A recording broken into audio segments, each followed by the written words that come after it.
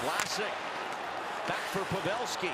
Vlasic again. Fires deflected. Rebound. Score!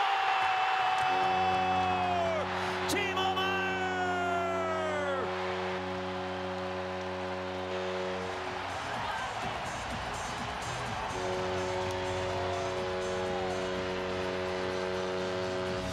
All kinds of battles, but look at this pass from Pavelski.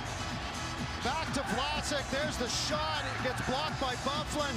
Timo Meier fights off Big Buff and then tucks it home at the backhand. A great goal. And then he takes a little bit of a hook. I'm not sure.